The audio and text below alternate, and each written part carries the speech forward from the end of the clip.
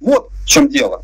Вас э, приглашали на российское телевидение, э, перестали приглашать или еще зовут и по каким каналам?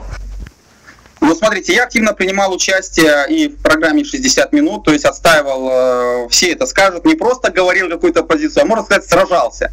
Сейчас ситуация, там вот правит бал Балкунец и э, поносят просто Беларусь э, мелким вот таким бисером. Здесь, конечно, тоже работает белорусская вот эта вот колонна определенная, которая продвигает своих вот э, псевдоэкспертов, которые там непонятно, Шпаковских, всяких Германтов, там ни о чем. А ребята абсолютно с темным прошлым.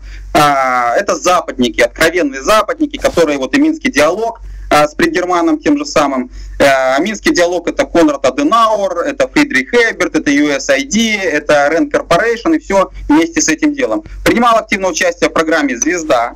Хочу сказать, что сейчас э, это дело снизилось. Во-первых, ограничения очень серьезные.